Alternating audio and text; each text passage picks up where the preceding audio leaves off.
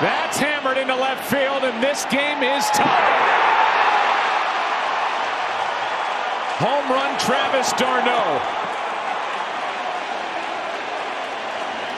His first of this postseason, and it's 1-1 here in the second.